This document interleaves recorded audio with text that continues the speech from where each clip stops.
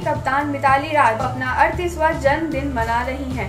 लंबे समय तक भारतीय टीम की कप्तान रहने वाली मिताली राज को अगर महिला क्रिकेट टीम का सचिन तेंदुलकर कहा जाए तो गलत नहीं होगा, क्योंकि उनके आंकड़े लाजवाब हैं ऐसे आंकड़े महान भारतीय बल्लेबाज सचिन तेंदुलकर के नाम पर भी दर्ज हैं दोनों में एक समानता ये भी है कि दोनों ही भारतीय दिग्गजों ने दो दशक से ज़्यादा समय तक अंतरराष्ट्रीय क्रिकेट में अपना दमखम दिखाया है।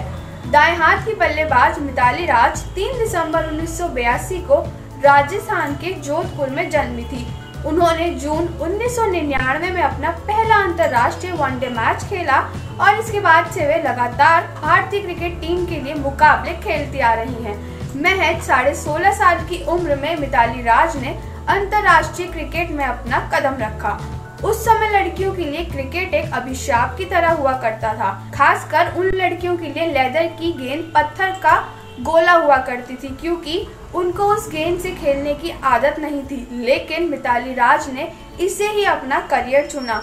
ठीक वैसे ही जैसे सचिन तेंदुलकर ने साल 1988 में लगभग इतनी ही उम्र में अपना इंटरनेशनल डेब्यू किया था।